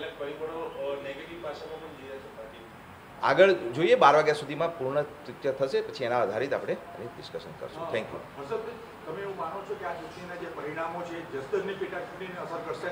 દરેક ચૂંટણીનું પોતાનું એક આગવી વિશિષ્ટતા હોય છે. આ રાજ્યોનો મેન્ડેટ છે રાજ્યોની આધારિત થતી હોય છે બીજેપીના દરેક નેતા ક્યાંક આશા અમર છે એવું હાલ તો ક્યાંક રટણ કરી રાખી રહ્યા છે. રશ્મિકાંતભાઈ, આપ કઈ કહી રહ્યા હતા? હેમંતભાઈએ જે વાત કરી કે અમારી પાર્ટી કેડર બેઝ છે એમ, સંખ્યા ઘણી બધી છે. મારે હેમંતભાઈને એમ કહેવું છે કે તમારી પાર્ટી જેને કે કેડર બેઝ નથી, પણ યુવાનોને અને જરૂરિયાતવાળાઓને તમે આંખે પાટા બાંધીને તમે એમને બોન્ડેડ લેબર બનાવ્યા છે. એ બોન્ડેડ લેબરનો તમે ઉપયોગ ઘણો બધો કર્યો. મેં ઘણી જગ્યાએ અમદાવાદથી મળીને ઘણા બધા જિલ્લાઓમાં ગયો છું. તે ભાજપના જે ચુસ્ત કાર્યકરો હતા જેમ અત્યારે પ્રજા ત્રાસી છે એ જ રીતે ભાજપના કાર્યકરો નીચલા કાર્યકરો ઉપર જે લક્ઝરિયસ અને જાજરમાન જીવન જીવી રહ્યા છે એમની વાત નથી. પણ તમારો જે બેઝ હતો કાર્યકરોને બધો જ ખસી ગયો છે. એટલે એ બી એક પ્રજાના જ નાગરિક છે. એ પ્રજાના પ્રશ્નો લઈને જાય છે તો બી કામ થતા નથી. પ્રજાના કામો થતા નથી. અને તમારી જે નીતિઓના લીધે એમને સાંભળવું પડે છે. સામાન્ય કાર્યકર તમે બોન્ડેડ લેબરને તમે કાર્યકર ના કહો તમે લેબર બનાવ્યા છે. અને બીજું તમે જે વિકાસની જે વાત કરી અમારા અધ્યક્ષ રાહુલ ગાંધીએ બહુ સાચી વાત કરી હતી કે તમે વિકાસ પંદરથી વીસ ઉદ્યોગપતિનો જ કરો છો. એટલે મધ્યમ વર્ગ અને ગરીબ વર્ગ તમારી સામે જેને જે આક્રોશથી પડી રહ્યો છે ને એના પરિણામો તમે આજે ભોગવવાના જ તમારા છે. ચોક્કસથી પરિણામો તો સામે આવી રહ્યા છે. એક બાદ એક આપણે જી. મારે મારે રશ્મિકાંતભાઈને કહેવું છે. જે તમે પંદર ઉદ્યોગપતિઓની વાત કરો છો એ વિજય માલ્યાને નવ હજાર કરોડ રૂપિયાનું બેંક ઋણ કોના શાસનમાં આપ્યું? તમે જે નીરવ મોદીની વાત કરવાનો ગર્ભિત ઇશારો કરતા હો તો આ એ નીરવ મોદી છે કે જેને બે હજાર અગિયારમાંથી આગળના વર્ષોમાં યુપીએના શાસનમાં મોટાભાગે નાણાકીય સહાયો અપાઈ. આ એ નીરવ મોદી છે કે જેનો ઇમ્પિરિયલ હોટલમાં એનો જ્વેલરીનું એક્ઝિબિશન થાય અને રાહુલ ગાંધી ઇમ્પિરિયલ હોટલમાં એના જ્વેલરીના એક્ઝિબિશનને એટેન્ડ કરે અને એ નીરવ મોદી પછી ફ્રોડ કરીને આ દેશની બહાર જતા રહે ત્યારે તેની નામોશી આપણે ભારતીય જનતા પાર્ટીને માથે તોપવાની વાત કરીએ તો એ જરાય વ્યાજબી નથી. ભારતીય જનતા પાર્ટીએ એના નિષ્ઠાવાન અને પ્રમાણિક પ્રયત્નો કર્યા છે કે જેના કારણે થઈને વિજય માલ્યાને કાલે બ્રિટિશ બ્રિટનની કોર્ટે એવું કહ્યું છે કે તેમનું પ્રત્યાર્પણ થઈને તેમને ભારત મોકલવા જોઈએ. આ ભારતીય જનતા પાર્ટીનું શાસન નરેન્દ્રભાઈના વખતમાં રહ્યું કે જેણે prevention of money laundering act પીએમએલએથી માંડી બેનામી પ્રોપર્ટી એક્ટ અને bank insolvency and bankruptcy act જેવા કાયદાઓનો અમલ ચાલુ કર્યો છે કે જેના લીધે જે પ્રમાણે અત્યારના રુઝાન સામે આવી રહ્યા છે. જી. શેર બજારમાં પણ ચૂંટણી પરિણામની અસર જોવા મળી રહી છે. જે પ્રમાણે હાલ મહત્વપૂર્ણ સમાચાર મળી રહ્યા છે. પ્રારંભિક વલણો સામે આવતા જ કડાકો જોવા મળ્યો છે શેર બજારમાં. તો સેન્સેક્સમાં ચારસો પોઈન્ટનો કડાકો નોંધાયો છે, જે પ્રમાણે હાલ જે કહી શકાય પરિણામના ફક્ત કહી શકાય રુઝાન સામે આવી રહ્યા છે, ત્યારે ડોલરની સામે રૂપિયાની કિંમતમાં ઘટાડો થયો છે. તો ડોલરની સામે રૂપિયાની કિંમત બોતેર પોઈન્ટ સત્તર હાલ તો નોંધાવા પામી છે, જે પ્રમાણે કહી શકાય શેર બજારમાં ચૂંટણી પરિણામની અસર જોવા મળી રહી છે, જે પ્રમાણે રુઝાન સામે આવી રહ્યા છે. તો રાજસ્થાનમાં પણ એકસો સીટોથી કહી શકાય કે આગળ હોય તેવું પણ લાગી રહ્યું છે. રાજસ્થાન એમપી છત્તીસગઢમાં સરકાર ક્યાં કોંગ્રેસની હોય તેવું લાગી રહ્યું છે. હેમંતભાઈ છત્તીસગઢ જે કહી શકાય મહત્વપૂર્ણ આપ ગઢ માની રહ્યા છો કોંગ્રેસની સરકાર બનતી જોવા મળી રહી છે. મેં તમને પહેલા પણ કહ્યું કે છત્તીસગઢમાં ખરેખર સાડા અગિયાર બાર સુધી ધીરજ રાખવા જેવી છે. આ છત્તીસગઢમાં આ પ્રમાણેના લીડિંગ રિઝલ્ટ બિલકુલ રીતે પરિવર્તિત થતા પહેલાના બે ઇલેક્શનના એસેમ્બલીના ઇલેક્શન દરમિયાન થતા જોયા છે. એટલે છત્તીસગઢમાં ખરેખર ધીરજ રાખવા જેવી છે. છત્તીસગઢ આપણે મૂકીએ એક બાજુ, અત્યારે તો મધ્યપ્રદેશની વાત કરીએ, આપણે બોલો. કાંટે કી ટક્કર નેક એન્ડ નેક ચાલી રહ્યા હોય તેવું લાગે છે. અને મને રાજસ્થાન માટે આનંદ એ બાબતનો છે હા ભારતીય જનતા પાર્ટી છોતેર બેઠક ઉપર આગળ છે જ્યારે કોંગ્રેસ ઇઠ્યાસી બેઠક ઉપર આગળ છે એવું અત્યારના પણ લીડિંગ જો પાંચે રાજ્યોના રુઝાન જોવામાં આવે તો બીજેપી ને ચોક્કસપણે માર પડી રહ્યો છે. વજુભાઈ શું કહેશો? અત્યારે જે આંકડાઓ આવી રહ્યા છે જી. અને જે ગઢે દેખાતા હતા એ ગઢના કાંકરા ખરતા હોય એવું અત્યારે આ આંકડાઓ ઉપરથી દેખાય છે. જી. અને કદાચ જો કોંગ્રેસ બધે દરેક જગ્યાએ છવાઈ ગઈ છવાઈ ગઈ તો? એમણે વિચારવું પડશે એના પાયા મજબૂત બનાવવા માટે. કારણ કે જનસેવકો લોકસેવકો એ જાહેર જીવનમાં આવવા દેતા નથી ને આવતા નથી. એનું કારણ એ છે કે હાઈકમાન્ડ હાઈકમાન્ડ શાહી આ દેશની અંદર હાઈકમાન્ડ શાહી થઈ ગઈ છે. લોકશાહી રહી નથી. અને હાઈકમાન્ડ શાહીના કારણે હાઈ શાહી ક- ના કા- હાઈકમાન્ડ શાહીના કારણે લે ભાગુ માણસો એના પોતાના ચોક્કસ લોકોનો ચોક્કસ હિતોના રક્ષક માણસો જ તે જાહેર જીવનમાં આવે છે. એટલે લોકસેવકો આવતા નથી. બંધારણની કલમ ચોરાશી ક અને ચોરાશી ખ અનુસાર આપણું બંધારણનો બિલકુલ બંને પાર્ટીઓ તોડી મોડીને તરફોડી નાખ્યું છે. અને જે જન પણ ચોક્કસપણે કહી શકાય બંને પાર્ટીઓમાં એમ કહી શકાય કે કોણ ઓછું કરપ્ટ છે એ રીતે હા. તમે કે કોંગ્રેસ કેમ જતી રહી? કોંગ્રેસ જવાનું કારણ શું હતું? ભયંકરમાં ભયંકર ભ્રષ્ટાચાર પણ હવે જનતા છે પુનરાવર્તન નહીં પરિવર્તન ઈચ્છે છે એવું ચોક્કસ લાગી રહ્યું છે. પરંતુ બંને હર- ભાઈ હરખા આપણે બંને સરખા. એ પરિસ્થિતિ. જવું તો લોકોને જવું ક્યાં? એ પરિસ્થિતિ નિર્માણ થઈ છે. માટે હું એટલું કહું છું કે આ દેશમાં હાઈકમાન્ડ શાહી જ્યારે નાશ પામશે ત્યારે સાચી લોકશાહી આવશે. સાચી લોકશાહી આવશે તો જ આ દેશનો વિકાસ થશે. એટલું કોંગ્રેસમાં મધ્યપ્રદેશ જોવામાં આવે બહુમતથી ફક્ત છ સીટ માટે દૂર છે. મધ્યપ્રદેશમાં ખરેખર શું કહેશો રશ્મિકાંતભાઈ? એટલે ખૂબ મોટો ફટકો દેખાય છે. જી. આ જેને કહીએ કે હમણાં જેમ વાત કરી પેલા ઉદ્યોગપતિને નીરવ મોદી ને માલ્યાની એવું જ નરેન્દ્ર મોદી બાબતમાં છે. જી. જ્યારે પણ કોઈ પણ પહેલી વાર લોન લેવા જાય છે ને ત્યારે બેંકને કે બેંકના સ્ટાફને કે મેનેજમેન્ટને ખબર નથી હોતી કે આ પૈસા જે લેશે એ ભરપાઈ કરશે કે નહીં.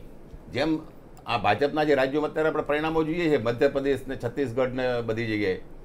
એ જ પરિણામો બે હજાર ઓગણીસમાં આવવાના છે. કારણ કે નરેન્દ્ર મોદી વિશે બી લોકોને એમ જ હતું કે આપણી ડિપોઝિટ વોટ એ ડિપોઝિટ મૂકી એમણે ભાજપના ઈવીએમમાં જી. પણ એ ડિપોઝિટનું એમને જે વળતર મળવું જોઈએ ઘસારો વધારે થયો. રૂપિયો પાંચ પૈસા થઈ ગયો. એટલે જેમ નીરવ મોદી અને અન્યની જે વાત કરે છે કે લીધી ખરી પણ જ્યારે ભાગી ગયા ત્યારે તમારે લીધી ત્યારે તો બેંક વાળાને ખબર નથી. એમણે જે પ્રોજેક્ટ રિપોર્ટ ચોક્કસથી તમે અટકાવવા માંગીશ. મહત્વપૂર્ણ સમાચાર મળી રહ્યા છે. છત્તીસગઢમાં ભાજપ ત્રીસ કોંગ્રેસ ચોપન બેઠકો પર આગળ જોવા મળી રહ્યું છે. મધ્યપ્રદેશમાં ભાજપ એકસો બે કોંગ્રેસ એકસો આઠ બેઠકો પર આગળ છે. તો મિઝોરમમાં કોંગ્રેસ ચૌદ અને મિઝો ફ્રન્ટ, જે પાર્ટી કહેવામાં આવે છે, સોળ બેઠક પર આગળ છે. તેલંગાણામાં કોંગ્રેસ તેત્રીસ અને ટીઆરએસ સાહીઠ બેઠક પર આગળ જોવા મળી રહ્યું છે.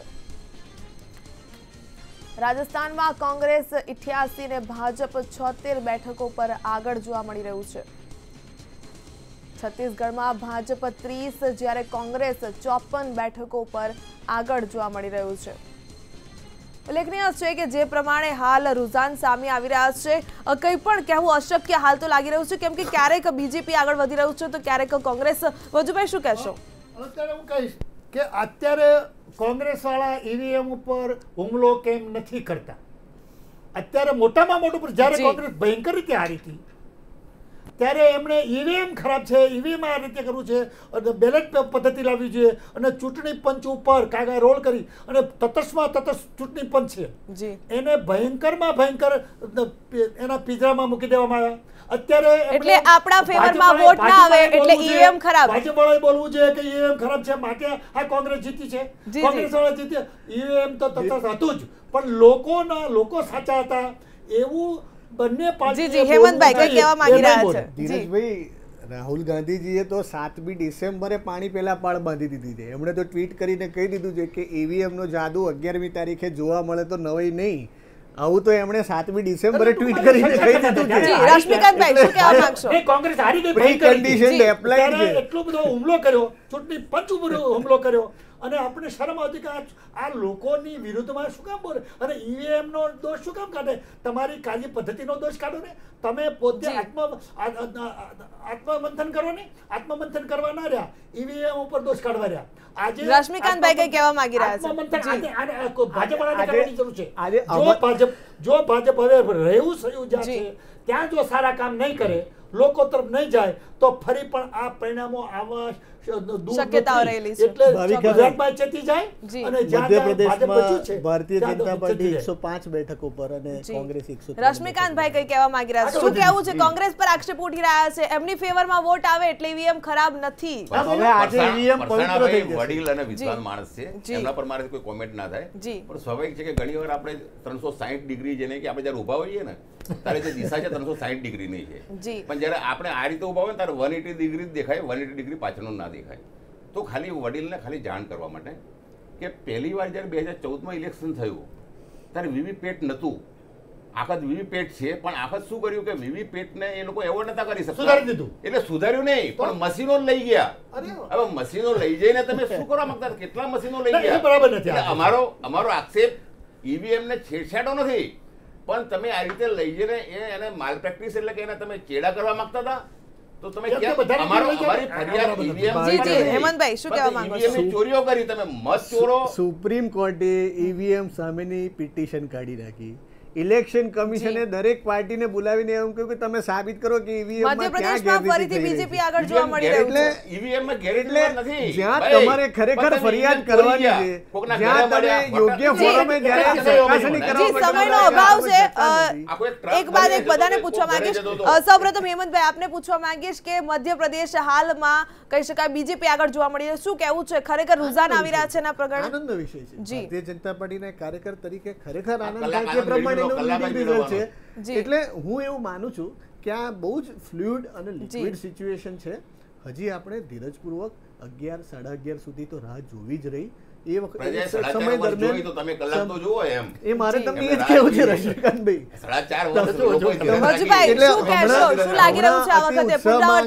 આવવાની જરૂર નથી પરિવર્તન લોકો જે આ આ વોટિંગ થઈ રહ્યું છે જે પરિણામો આવી રહ્યા છે એ ક્યાં બીજી રીતે પરિવર્તન તરફ આ વોટિંગ થયું છે એવું ચોક્કસ દેખાઈ રહ્યું છે. એટલે એમાં નો ડાઉટ કે સત્તા પની વિરુદ્ધમાં છે કે પરિવર્તન સાથે છે અથવા તો મુદ્દાઓથી જે- તે સત્તાઓ ભટકી ગઈ છે માટે આ પરિણામ આવી રહ્યું છે એ પણ આમાં દેખાઈ આવે છે. કારણ કે પ્રજા બહુ કોઠા સૂજવાળી છે. જે. આપણે આપણે કટોકટી સમયે જે પરિણામ આવ્યું એના ઉપરથી કહેવાય કે પ્રજા ખરેખર ખૂબ કોઠા સૂજવાળી છે. રશ્મિકાંતભાઈ શું કહેશો આપ? નહીં, આ અત્યારે જે પરિણામ આવી રહ્યા છે આપ જોતા હશો જી. તો પ્રજાની વચ્ચે જે પણ પ્રશ્નો છે એ પ્રશ્નોનું નિરાકરણ થયું જ નથી. અને બીજા શબ્દોમાં કદાચ કહું તો નરેન્દ્ર મોદીજી અને ભાજપને ભારતની કે ભાજપની પડી નથી એમને પ્રસિદ્ધિની પડી છે. જો ભાજપ માટે એ જો કરતા હોત ભારત માટે કરતા હોત તો જેટલી પણ વ્યવસ્થાઓ છે જેટલા બી વેલફેર કાર્યક્રમો છે એ લોકો સુધી પહોંચાડી શક્યા હોત. પણ એવું કર્યું જ નથી. એમને ખાલી બે હજાર ઓગણીસ ટાઈમ પાસ જેને કહે ને કે શેર સપાટા સરકાર આ સરકારને જો ધારો કે કહેવું હોય કેન્દ્રની કે એમના પ્રદેશોની તો આ શેર સપાટા સરકાર જ ખાલી ટાઈમ પાસ જ કર્યો સાડા ચાર વર્ષ. હવે બીજું કહે છે હજુ તમે છ મહિના રાહ જુઓ. કશું કરી શકવાના નથી. તમે ક્રિકેટની ભાષામાં કહીએ તો છેલ્લી સ્લોગ ઓવર ચાર પાંચ ઓવર બાકી હોય. અને તે વખતે જો પચીસ ને ત્રીસ રનની એવરેજ બાકી હોય તો તમે જીતી ના શકો. એટલે લોકોના દિલ તમે જેને કે જીત્યા નથી કે તમે એમને લોકોને બેકૂફ બનાવ્યા તમે એમને કોઈ ફેસિલિટી આપી નથી. કે જે જીવ જરૂરત છે એટલે આ જે પરિણામો જે દર્શાવી રહ્યા છે એ જેમ કહ્યું હેમંતભાઈએ કે કલાક રાહ જુઓ. જી જી હાલ મહત્વપૂર્ણ સમાચાર પર નજર કરીએ મધ્યપ્રદેશમાં બીજેપી આગળ જોવા મળી રહ્યું છે. મધ્યપ્રદેશમાં શિવરાજસિંહ ચૌહાણ હતા. જી જી જી મધ્યપ્રદેશમાં જે પ્રમાણે બીજેપી આગળ છે હાલ કહી શકાય.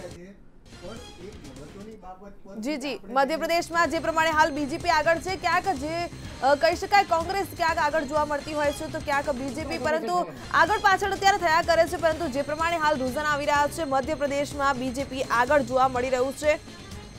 અને ક્યાંક ને ક્યાંક જી મધ્યપ્રદેશમાં શિવરાજસિંહ ચૌહાણ છે ક્યાંક મજબૂત માનવામાં આવે છે. રાજસ્થાનમાં વાત કરીએ તો રાજસ્થાનમાં કોંગ્રેસ આગળ છે. વસુંધરા રાજેની સરકાર હતી. પરંતુ હવે રાજસ્થાનમાં ક્યાંક કોંગ્રેસની સરકાર બનશે તેવું પણ લાગી રહ્યું છે. મધ્યપ્રદેશમાં બીજેપી જ્યારે રાજસ્થાનમાં કોંગ્રેસ મહત્વપૂર્ણ રાજ્યો કહેવાય તો મધ્યપ્રદેશ, રાજસ્થાન અને છત્તીસગઢ, પરંતુ કહી શકાય કે અત્યારે કંઈ પણ કહેવું સ્પષ્ટ ન નથી આવી રહ્યું, ખાસ કરીને કેમ કે બીજેપી ક્યાંક આગળ છે તો ક્યાંક કોંગ્રેસ, પરંતુ મહત્વપૂર્ણ રાજ્યો જે ગણવામાં આવી રહ્યા છે રાજસ્થાનમાં વસુંધરા રાજ્યની સરકાર હતી, પરંતુ હાલ તો કોંગ્રેસ આગળ જોવા મળી રહ્યું છે. અને મધ્યપ્રદેશમાં જો વાત કરવામાં આવે તો બીજેપી હાલ આગળ છે. ક્યાંક ને ક્યાંક મહત્વપૂર્ણ બાબત એ કહી શકાય કે ક્યાંક જનતા છે પરિવર્તન ઈચ્છી રહી છે, તો ક્યાંક જનતા છે પુનરાવર્તન જ ઈચ્છી રહી છે. અનેક ફેક્ટર પણ જવાબદાર હોય છે, ક્યાંક ને ક્યાંક અનેક આંદોલનો થયા હોય છે, ક્યાંક ખેડૂતો છે, તેમનો પણ મહત્વપૂર્ણ મુદ્દો જવાબદાર રહેશે. ત્યારે રાજસ્થાનમાં સત્તા પરિવર્તન આવશે તેવું હાલ તો રુઝાન પરથી જણાઈ રહ્યું છે. રાજસ્થાનમાં કોંગ્રેસ સરકાર બનાવશે. વસુંધરા રાજ્યની સરકાર હતી, જો કે હવે રાજસ્થાનમાં એમ પણ કહેવામાં આવે છે કે પાંચ વર્ષ બાદ સત્તા પલટ થઈ જતી હોય છે તેવું આ વખતે ક્યાંક જોવા મળી શકે છે. ભાજપની સરકાર હતી, પરંતુ હવે કોંગ્રેસની બનશે. તેલંગાણામાં ટીઆરએસ આગળ જોવા મળી રહ્યું છે.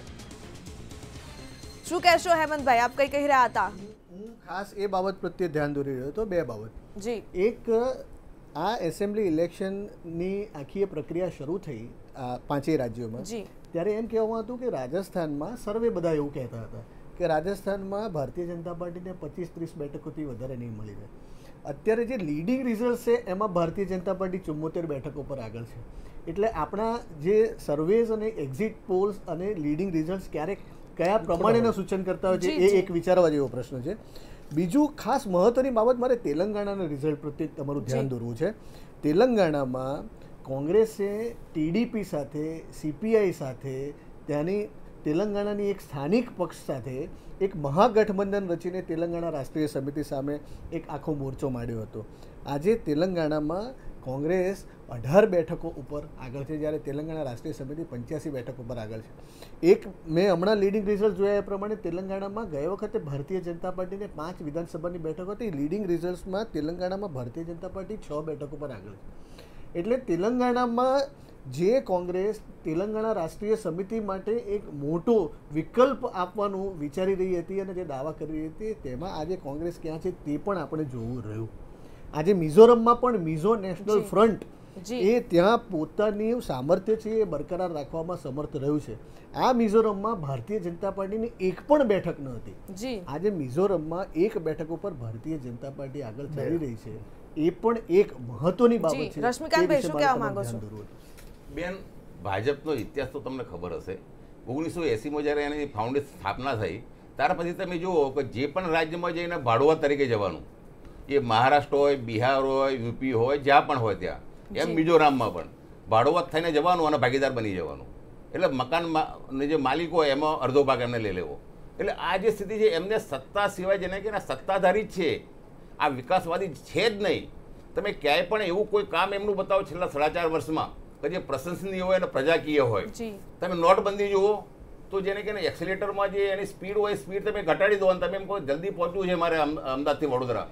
તમે પહોંચી ના શકો. તમે લોકોના નાના નાના ઉદ્યોગોની સ્પીડ ઘટાડી દીધી. ઘણા તો સ્પીડની જગ્યાએ એર આવી ગયું તો ગાડીઓ બંધ થઈ ગઈ. એટલે ઘણા નાના નાના ગૃહ ઉદ્યોગો અને મધ્યમ કદના ઉદ્યોગો બંધ પડી ગયા.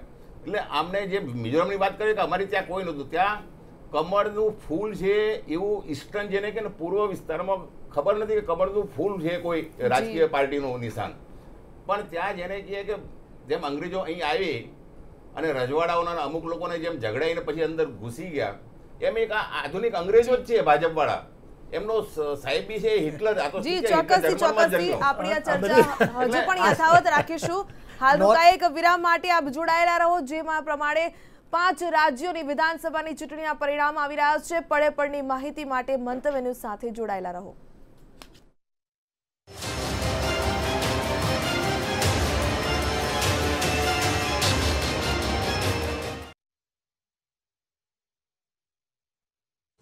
રાજસ્થાનમાં હાલ કોંગ્રેસ આગળ જોવા મળી રહ્યું છે. તેલંગાણામાં ટીઆરએસ આગળ જોવા મળી રહ્યું છે, જે પ્રમાણે મહત્વપૂર્ણ સમાચાર મળી રહ્યા છે. તેલંગાણામાં કોંગ્રેસ તેત્રીસ સીટ, જ્યારે ટીઆરએસ ચોસઠ બેઠક પર આગળ છે. રાજસ્થાનમાં કહી શકાય કોંગ્રેસ નેવું, જ્યારે ભાજપ ઇઠ્યોતેર બેઠક પર આગળ જોવા મળી રહ્યું છે. છત્તીસગઢમાં ભાજપ અઠ્યાવીસ, કોંગ્રેસ છપ્પન બેઠકો પર આગળ છે. જ્યારે મધ્યપ્રદેશમાં ભાજપ એકસો દસ, કોંગ્રેસ એકસો સાત બેઠકો પર આગળ જોવા મળી રહ્યું છે. મિઝોરમની વાત કરીએ તો મિઝોરમમાં કોંગ્રેસ દસ અને મિઝો નેશનલ ફ્રન્ટ છે તે ત્રેવીસ બેઠક પર જોવા મળી રહ્યું છે. મધ્યપ્રદેશમાં બીજેપી આગળ જોવા મળી રહ્યું છે. જે પ્રમાણે હાલના રુઝાન સામે આવી રહ્યા છે. રાજસ્થાનમાં સત્તા પરિવર્તન આવશે તેવું પણ હાલ તો પ્રતીત થઈ રહ્યું છે. ક્યાંક ખુશીનો માહોલ જોવા મળી રહ્યો છે. રાજસ્થાનમાં કોંગ્રેસ સરકાર બનાવશે.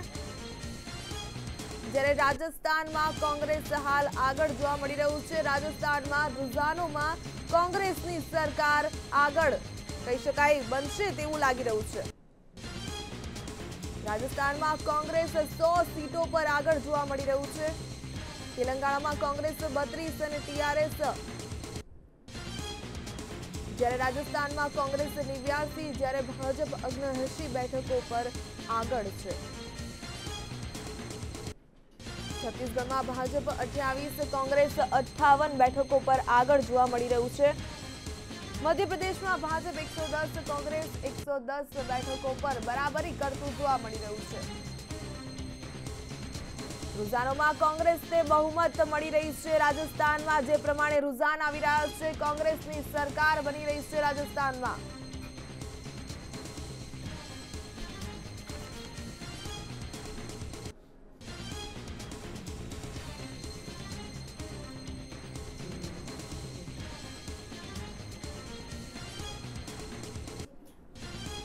જે પ્રમાણે હાલ કહી શકાય કે રુઝાન સામે આવી રહ્યા છે. ક્યાંક પુનરાવર્તન તો ક્યાંક પરિવર્તનની દિશામાં જુવાડ જોવા મળી રહ્યો છે, પરંતુ રાજસ્થાનમાં કોંગ્રેસ આગળ છે. વસુંધરા રાજ્યની સરકાર હતી, પરંતુ હવે રાજસ્થાનમાં ક્યાંક રાજસ્થાનની જનતા છે પરિવર્તન ઈચ્છી રહી છે. એક સ્લોગન પણ આવ્યું હતું, મોદી તુમસે બેર નહીં, વસુંધરા તમારી ખેર નહીં, એટલે ચોક્કસપણે ત્યાંની જનતા છે તેમણે સાબિત કરી બતાવ્યું છે. ક્યાંક ને ક્યાંક કોંગ્રેસને આ વખતે જનતાએ સ્વીકાર્યું છે ને કોંગ્રેસની સરકાર બનતી રાજસ્થાનમાં જોવા મળી રહી છે. રાજસ્થાનમાં મહત્વપૂર્ણ બાબત તો એ છે કે અશોક ગહેલોત અનુભવી નેતા છે. જ્યારે સચિન પાયલોટ, એક યુવા ચહેરો જે જનતાનો પ્રતિસાદ છે તેમને સાંપડી રહ્યો હોલ. હાલ એવું તો લાગી રહ્યું છે. વસુંધરા રાજેથી કયા સમુદાયને નારાજગી હોઈ શકે તે પણ એક મહત્વપૂર્ણ બાબત છે. ઝાલરા પાટણથી વસુંધરાની સામે કોંગ્રેસના નેતા માનવેન્દ્રસિંહ, જેઓ ભાજપ પૂર્વ નેતા જશવંતસિંહના પુત્ર છે, તેઓ ભાજપમાંથી કોંગ્રેસમાં જોડાયા હતા, પરંતુ હાલ તો રાજસ્થાનમાં કોંગ્રેસની સરકાર બનતી જોવા મળી રહી છે. રાજસ્થાનમાં સત્તા પરિવર્તન આવશે. મહત્વપૂર્ણ બાબત તો એ છે કે વસુંધરાની સામે કોંગ્રેસના માનવેન્દ્રસિંહ છે તેમને ઊભા રાખવામાં આવ્યા છે. પાંચમી વાર મેદાનમાં છે અશોક ગહેલોત, જ્યારે સરદારપુરામાં અશોક ગહેલોતની સામે શંભુસિંહ ખેતાસર છે. અને કોંગ્રેસના પ્રદેશ અધ્યક્ષ સચિન પાયલોટ, એક અનુભવી વરિષ્ઠ નેતા કહેવામાં આવે તો અશોક ગહેલોત અને એક યુવા ચહેરો સચિન પાયલોટ બંનેની ક્યાંક કામગીરી બંનેને જનતાનો સારો પ્રતિસાદ સાંપડતો હોય તેમ રાજસ્થાનમાં કોંગ્રેસની સરકાર બની રહી છે. આજ મુદ્દે ચર્ચા કરવા માટે મારી સાથે જોડાઈ ગયા છે દિલીપ પટેલ, રાજકીય વિશ્લેષક પાર્થિવશ્રી કોંગ્રેસના નેતા. આપ બંનેનું સ્વાગત છે મંતવ્ય ન્યૂઝમાં. પાર્થિવશ્રી આપને પૂછવા માંગીશ, રાજસ્થાનમાં કોંગ્રેસની સરકાર બની રહી છે. શું કહેવું છે આપનું? જે રીતે અમારા રાષ્ટ્રીય ઉપાધ્યક્ષ શ્રી રાહુલ ગાંધીજીએ પાંચે પાંચ રાજ્યોમાં જે રીતે પ્રચાર કર્યો. અને જે કોમ્બિનેશન કોંગ્રેસનું હતું બે રાજ્યોમાં, ખાસ કરીને મધ્યપ્રદેશ અને રાજસ્થાન, કે સિનિયર નેતાનો અનુભવ અને યુવા નેતાઓનો જોશ, આનું જે કોર્ડિનેશન કરીને જે લડાઈ લડવામાં આવી, એને જોઈને જે જનસમર્થન કોંગ્રેસ માટે ઊભું થયું, એના બે ત્રણ મુદ્દાઓ છે. પહેલી વાત તો સરકારની નાકામયાબી, જે રાજસ્થાનમાં ડબલ એન્જિનની વાત કરતા હતા, કે રાજ્યનું, વસુંધરાજીનું એન્જિન અને નરેન્દ્રભાઈનું એન્જિન એ બે એન્જિન બંધ થઈ ગયા. એ જ રીતે મધ્યપ્રદેશમાં શિવરાજસિંહની સરકાર, જેણે ખૂબ જ મોટા સ્કેમ્સ, વ્યાપમ જેવા મોટા ગોટાળા કર્યા હોય, અથવા તો છત્તીસગઢની વાત કરીએ કે ચાવલ બાબા, એટલે રમનસિંહ દ્વારા ખૂબ જ મોટા પ્રમાણમાં કૌભાંડો થયા હોય, તેની સામે ખૂબ જ પ્રજાનો આક્રોશ હતો. એક વાત કરીએ, ખેડૂતોની વાત કરીએ, ત્યારે કોંગ્રેસે જે વાત મૂકી કે ભાઈ, બિજલી બિલ હાફ ઓર કરઝા માફ, કે જે રીતે ખેડૂતો પરેશાન હતા, ત્યાંના ખેડૂતો આત્મહત્યા કરી રહ્યા હતા. રાજસ્થાનમાં સૌથી વધારે ખેડૂતોએ આત્મહત્યા કરી. અને જ્યારે મધ્યપ્રદેશની વાત કરીએ, જ્યારે ખેડૂતો આંદોલન ઉપર હતા, તો એમને ગોળીઓના ઘા કર્યા ત્યાંની ભારતીય જનતા પાર્ટીના સરકારે. એ એ બધું જ આક્રોશમાં બદલાયું. અને યુવાનોનો આક્રોશ, બેરોજગારીનો આક્રોશ, મહિલાનો મોંઘવારી માટેનો આક્રોશ, કે ત્રણસો, ચારસો રૂપિયાનો બાટલો અગિયારસો, બારસો રૂપિયા વેચાય. અને નરેન્દ્રભાઈના ખોટા વાયદાઓ સાડા ચાર પોણા વર્ષ પોણા પાંચ વર્ષના પોતાના શાસનમાં એમને રિપોર્ટ આપવાની જગ્યાએ છેલ્લા ત્રણ મહિનામાં જેટલી જનસભાઓ કરી, એમાં ચારસો છવ્વીસ વખત તો રાહુલ ગાંધીજીને નામની ઇર્દગીર્દ ફરતા રહ્યા. એમની પાસે કોઈ મુદ્દા જ નહોતા, કારણ કે એમને કોઈ કામગીરી નહોતી કરી, એટલે કેન્દ્રની નરેન્દ્રભાઈની સરકાર અને રાજ્યની સરકારો નિષ્ફળ ગઈ છે. તેના વિરુદ્ધમાં પ્રજાનું જનસમર્થન જનસમર્થન કોંગ્રેસને મળ્યું છે અને જે આપણે અત્યારે રૂઝાનોમાં જોઈ રહ્યા છે. જી ચોક્કસથી કહી શકાય દિલીપ પટેલ રાજકીય વિશ્લેષક આપણી સાથે જોડાયેલા છે. દિલીપભાઈ શું કહેવું છે? જે પ્રમાણે રુઝાન સામે આવે છે ક્યાંક પુનરાવર્તન તો ક્યાંક પરિવર્તન પરંતુ રાજસ્થાનની વાત કરીએ ખાસ કરીને તો આ વખતે કોંગ્રેસની સરકાર બનશે તેવું લાગી રહ્યું છે. રાજસ્થાનમાં તો દેખાઈ રહ્યું છે સ્પષ્ટપણે પણ મધ્યપ્રદેશમાં હજુ ટક્કર ચાલી રહી છે. હજુ હજુ કેવું વહેલું છે? જી ક્યાંક બીજેપી આગળ થાય છે તો ક્યાંક કોંગ્રેસ આગળ થાય છે ક્યાંક બરાબરી પર આવી જાય છે. અને બંને વચ્ચે બહુ ઓછી બેઠકોનો ગાળો છે. પરંતુ બીએસપી કદાચ આમાં મહત્વનો રોલ ભજવશે. એટલે બીએસપી કોઈ પણ સંજોગોમાં ભાજપને ટેકો આપે એવું લાગતું નથી મધ્યપ્રદેશમાં. એની પાસે જે કંઈ આઠ દસ ધારાસભ્યો હશે એ કોંગ્રેસને ટેકો આપે. એટલે જે પાતળી બહુમતી રહેવાની છે બે પાર્ટી વચ્ચે એ એના કારણે બંને પક્ષના જે નેતાઓ છે એ બીજા બીજી પાર્ટીઓના ધારાસભ્યોને ખરીદવા માટેનો મોટો પ્રયત્ન કરશે. અને હોર્સ ટ્રેડિંગ બહુ મોટા પ્રમાણમાં થઈ શકે છે મધ્યપ્રદેશમાં. તેમ છતાં આપણે કહી શકીએ પાંચ રાજ્યોમાંથી ચાર રાજ્યોમાં તો સ્પષ્ટપણે દેખાઈ રહ્યું છે કે ત્યાં ભાજપ નથી આવી રહ્યું. એક મધ્યપ્રદેશમાં હજુ આપણે થોડી ગણતરી મૂકી શકીએ કે ટક્કર લઈ શકે અને ત્યાં આગળ આવી શકે. જે પહેલાંથી ધારણા હતી રાજસ્થાનની ધારણા હતી કે રાજસ્થાનમાં કોંગ્રેસ આવી રહી છે. મધ્યપ્રદેશમાં બંને વચ્ચે ટક્કર ચાલી રહી હતી. એ ચૂંટણી પહેલાંનું વાતાવરણ હતું. એ અત્યારે પણ દેખાઈ રહ્યું છે. એટલે કે લોકોનો જે એક આક્રોશ હતો લોકોનો કેન્દ્ર સરકાર પ્રત્યેનો જે રોષ હતો એ આ રાજ્ય સરકારોમાં દેખાઈ રહ્યું છે એવું સ્પષ્ટપણે મને દેખાઈ રહ્યું છે. એટલા માટે હવે આગામી દિવસો તો ભાજપ માટે બહુ કપરા છે. પરંતુ લોકસભાની ચૂંટણીમાં હવે જો જીતવી હોય તો કોંગ્રેસ ભાજપે કંઈક ને કંઈક એના માટેના પ્રયત્નો કરવા પડશે. નવા લોકો, નવા નવા કોઈ એવા પ્રોપોગેન્ડા લાવવા પડશે કે જેના કારણે એ ચૂંટણી જીતી શકે અને એમાં રામ મંદિરનો જે ઇસ્યુ અત્યારે ચાલી રહ્યો છે, એ પણ બની શકે કે એને હવે ભારતીય જનતા પાર્ટી એકદમ એગ્રેસિવલી આગળ લઈ આવીને રામ મંદિર પણ બનાવે અને એથી કારણે ચૂંટણી જીતવાના પ્રયત્ન કરે. અને બીજા બધા ટેકનિકલ કારણો જે એની ભાજપ સામે આક્ષેપો થતા જ રહ્યા છે, એવા બધા પગલાં પણ લઈ શકે છે ભારતીય જનતા પાર્ટી. તો આ એક અત્યારના પરિણામો તો સ્પષ્ટપણે બતાવે છે કે ભારતીય જનતા પાર્ટીની વિરુદ્ધનો જન આદેશ દેખાઈ રહ્યો છે અને લોકો જે જોઈ રહ્યા હતા જે એને અનુભવ થઈ રહ્યો હતો એમાં અત્યારે એ મતના મતમાં આપણે જોઈ રહ્યા છીએ. જી દિલીપભાઈ, છત્તીસગઢની વાત કરવામાં આવે, રમણસિંહની સરકાર હતી, પરંતુ આ વખતે કોંગ્રેસને વધારે સીટો મળી છે અને બીજેપી ફક્ત ચોવીસ સીટ મેળવી શક્યું છે. અત્યાર સુધીમાં શું કહેશો એના વિશે? જે નાના રાજ્યો છે, એમાં નાના રાજ્યોમાં તો ભારતીય જનતા પાર્ટીને ડબલ ડિજિટની અંદર બેઠકો આવે એવી પરિસ્થિતિ છે. એટલે ત્યાં તો એકદમ એકદમ ધોવાણ થયું છે ભારતીય જનતા પાર્ટીનું. જે કંઈ ટક્કર ચાલી રહી છે, બે મોટા રાજ્યો વચ્ચે ચાલી રહી છે. આ જે ત્રણ રાજ્યો છે, નાના, એમાં એમાં તો એકદમ ક્લિયર ક્લિયર બાબત થઈ ગઈ છે કે ત્યાં ત્યાં જે જે રૂલિંગ પાર્ટી હતી, એમાંની એક પણ પાર્ટી અત્યારે સત્તા પર આવે એવું દેખાતું નથી. અને એના કારણે એના કારણે એક ભારતીય જનતા પાર્ટીને મોટો ઝટકો પણ લાગ્યો છે. કારણ કે ડબલ ડિજિટમાં આ રાજ્યોમાં ભારતીય જનતા પાર્ટી આગળ નથી વધી રહી. તો ત્યાં પણ એક આ પરિસ્થિતિ, કપરી પરિસ્થિતિ સૌથી વધારે તો આ ત્રણ રાજ્યોમાં છે. જી, ચોક્કસથી હાલ સમય થયો છે એક વિરામનો. આપ જોડાયેલા રહો. બ્રેક બાદ પણ અમારી સાથે મારા સહયોગી ભાગ્યશ્રીની સાથે પડેપડની માહિતી આપને પહોંચાડી રહ્યો છે મંતવ્ય ન્યૂઝ.